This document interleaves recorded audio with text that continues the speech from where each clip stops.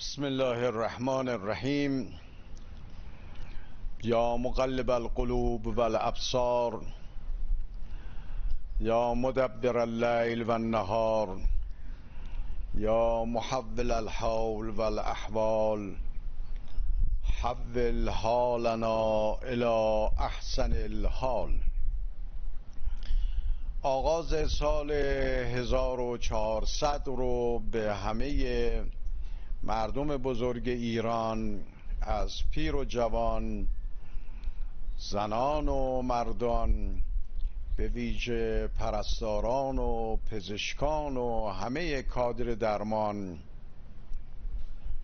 کشاورزان و کارگران رزمندگان و مرزبانان و همه ایران دوستان در سراسر جهان تبریک عرض می کنم ایام نوروز امسال را که در میانه دو روز بزرگ شادی آفرین زادروز سالار شهیدان ابی عبدالله الحسین و میلاد ولی عصر امام زمان ارواحنا له الفدا قرار گرفته را به فال نیک می‌گیرم.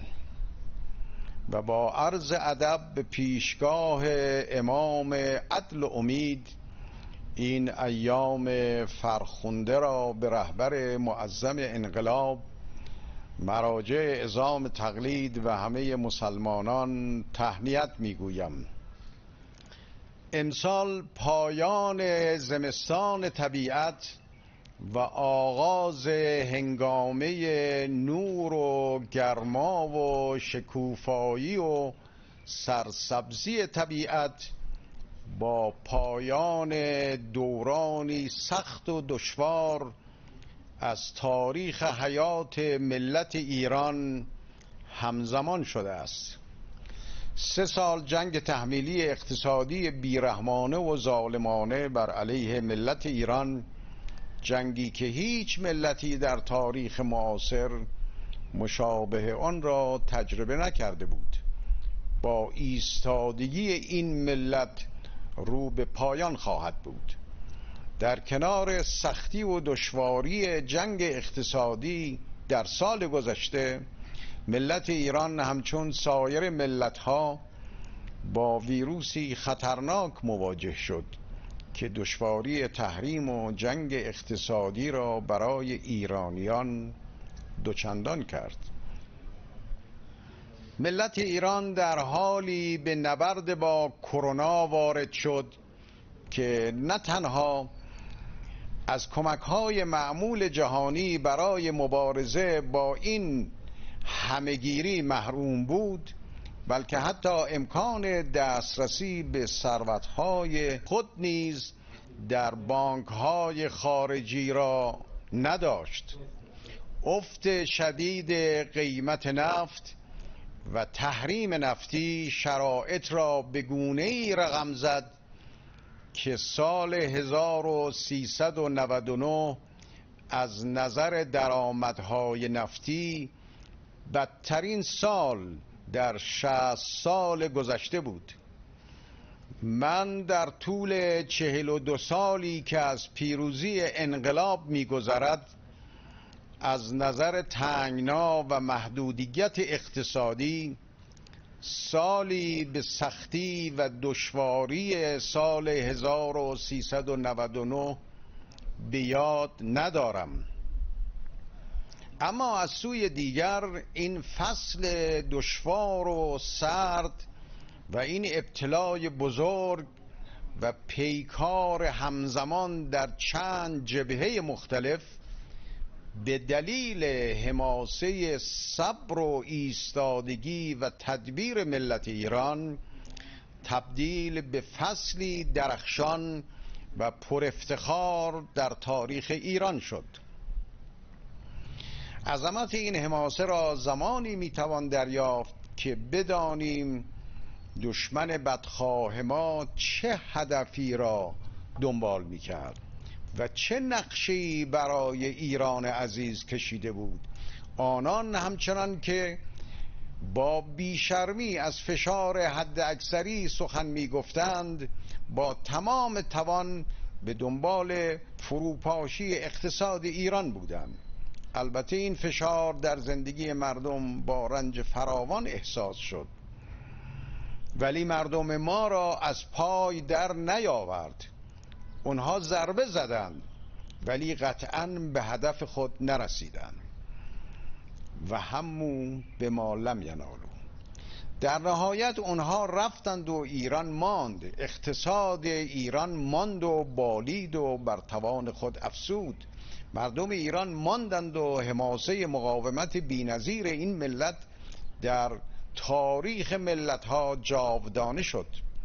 در سالی که اقتصاد جهانی کاهش تولید با نرخ منفی سه و چهار دهم درصد را تجربه کرد و بسیاری از اقتصادهای قدرتمند جهان نرخهای منفی پنج درصد تا منفی ده درصد را در کارنامه خود دیدند به رغم کرونا و جنگ تحمیلی اقتصادی رشد مثبت دو و دو دهم درصد را در کارنامه درخشان خود ثبت کرد.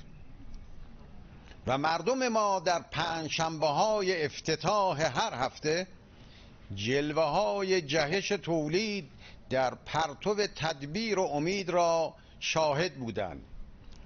این افتتاح ها همه دستاورد گشایش هایی بود که در سایه تعامل سازنده با جهان به دست آمده بود و بهرهگیری از درآمدهای نفتی در صندوق توسعه ملی امکان این سرمایه گذاری های زیر ساختی و اشتغال زارا فراهم آورده بود.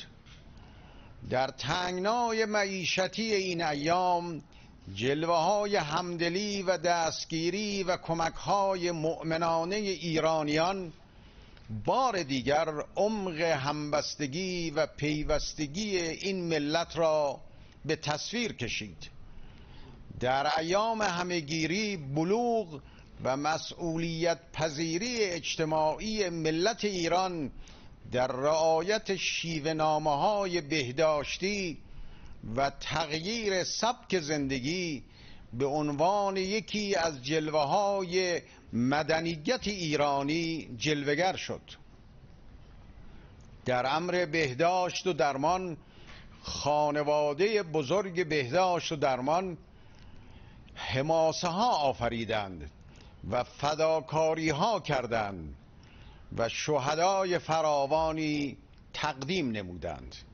در تولید تجهیزات پزشکی و دارو و واکسن دانشمندان و مهندسان و کارآفرینان و شرکت‌های دانش بنیان خوش درخشیدند و مایه سربلندی ملت ایران شدند. خداوند بزرگ را شاکریم که این زمستان سختی و رنج با پایان زمستان طبیعت رو به پایان است. نسیم نوروزی امسال نوید بخش آغاز فصل شکوفایی و پیروزی و پیشرفت در دفتر ملت ایران است. به فضل خداوند و به شکرانه این صبر و مقاومت همه چیز برای دورانی سرشار از شکوفایی و سازندگی و رونق و بهروزی برای ایران فراهم آمده است. امروز بدخواهان این ملت در آن سوی جهان با رسوایی و بدنامی از کرسی قدرت به زیر افتادند. در حالی که ملت ایران سرقامت سرفراز و سرزنده تر از همیشه به استقبال بهار طبیعت و بهار زندگی آمده است. امروز دشمنان ملت اعتراف کردند که با زبان زور و تهدید و تحریم نمی‌توان با ملت بزرگ ایران سخن گفت.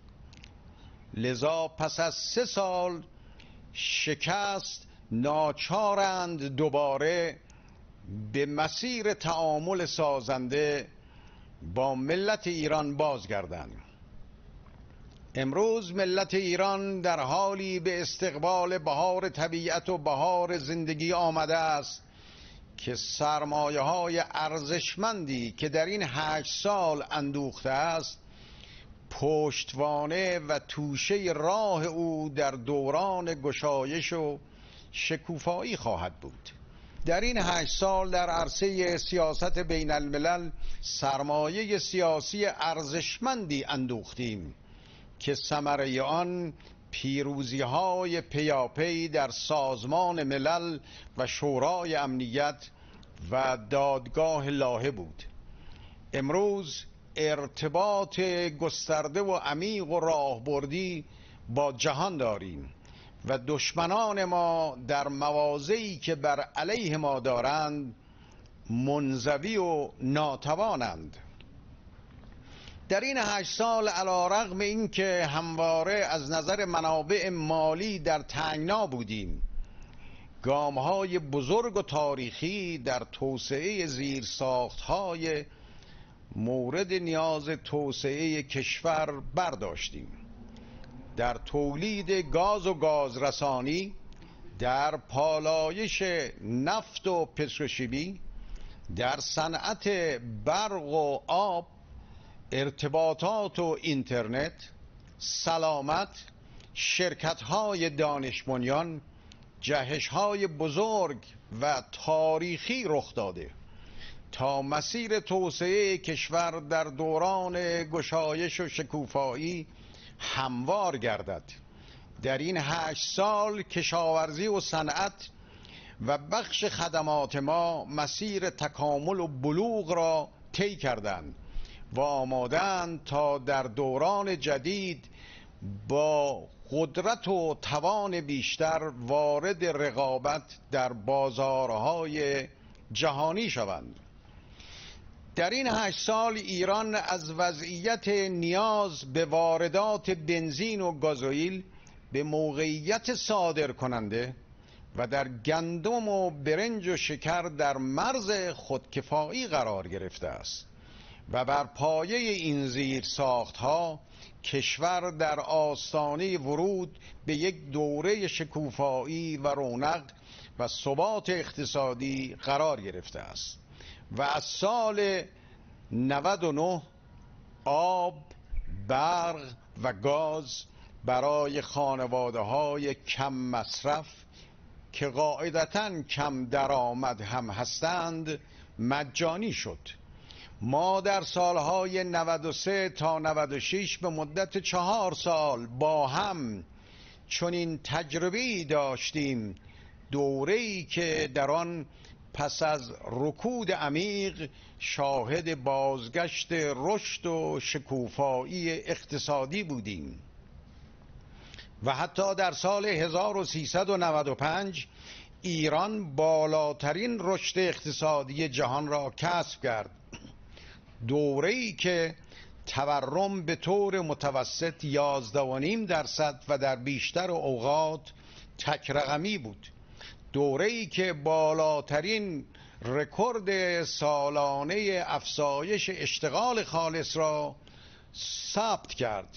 چون این سطحی از ثبات اقتصادی در چهار دهه اخیر در کشور تجربه نشده بود.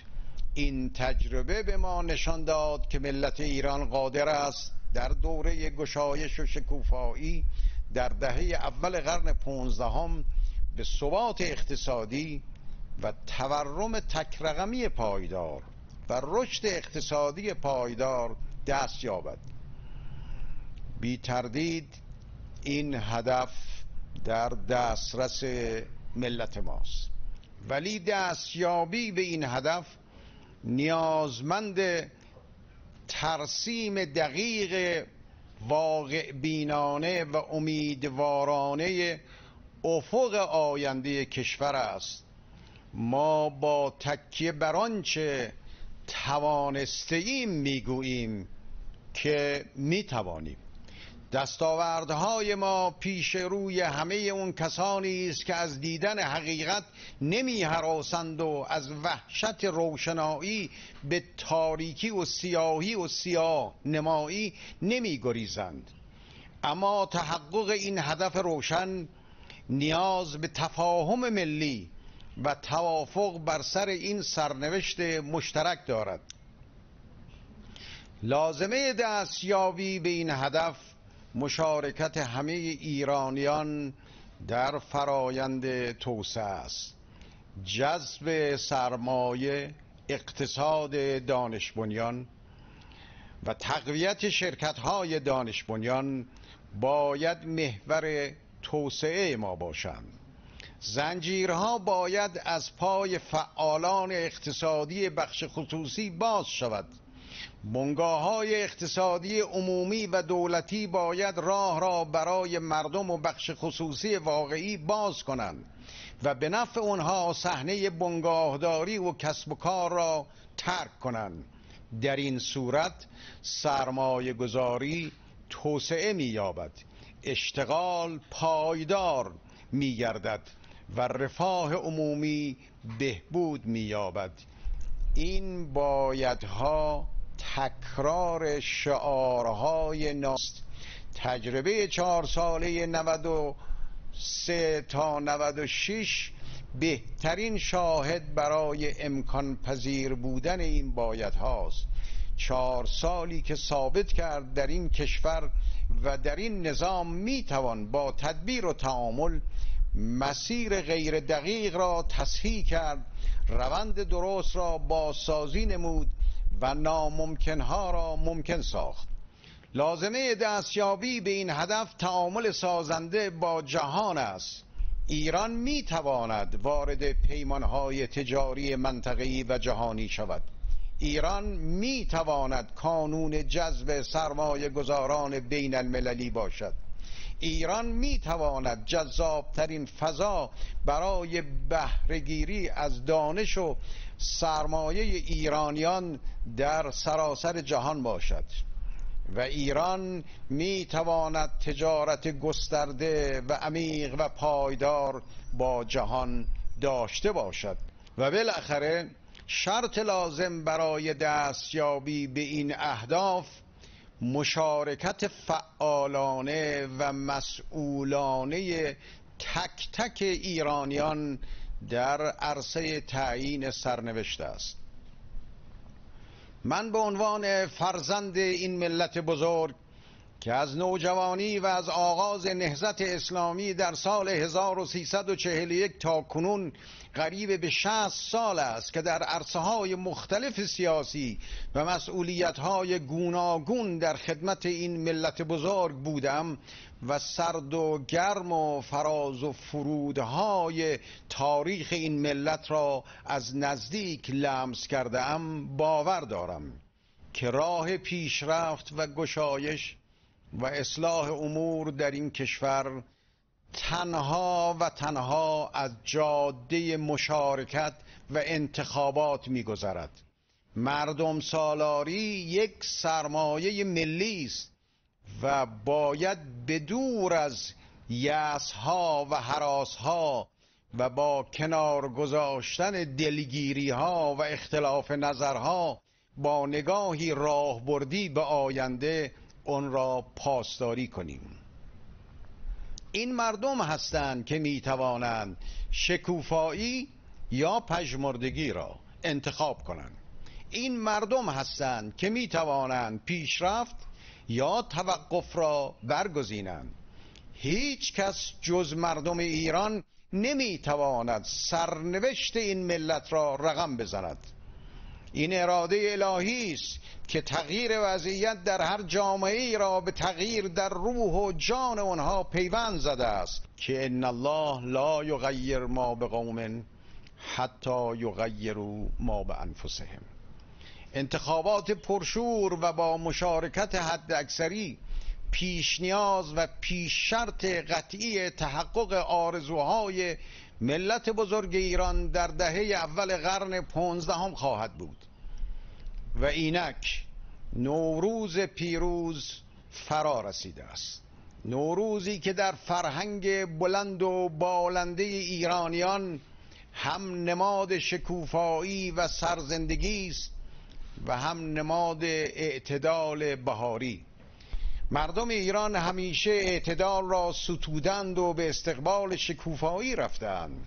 در نظام اجتماعی و سیاسی خود هم هر زمان حکمرانی همراه با اعتدال و خردمندی را تجربه کردند پیش رفتند و هر جا در حجوم غارتگران و زورگویان و افراطی گرایان قرار گرفتند پژمرده شدند. سال آینده سال دسترسی گسترده مردم به واکسن و مهار کرونا و سال بهرهگیری از مقاومت سه ساله و پایان تحریم ها خواهد بود. ما یک بار تحریم را شکست دادیم و مطمئنا در کنار همدیگر بار دیگر تحریم را شکست خواهیم داد. در آغاز سال 1400 من امیدوارتر از هشت سال پیشم. چون هشت سال پیش ما نه این تجربه پر افتخار چهار سال شکوفایی اقتصادی و تعامل جهانی و نه سه سال مقاومت در جنگ اقتصادی را داشتیم. بسیار امیدوارم که با حضور آگاهانه و آزادانه مردم در تعیین سرنوشت خود سال 1400 که سال پایان قرن چهاردهم است پایان بخش سختی ها و آستانه شکوفایی ها باشد و راه را برای قرن نو که قرن تجدید عزت ملت ایران است بگشاید و عرصه را برای پیشرفت شایسته ملت ایران بگستراند. و جهان خود را برای ظهور اون عدل گستر و منجی بزرگ بشریت آماده تر نماید. و السلام علیکم و رحمت الله و برکاته.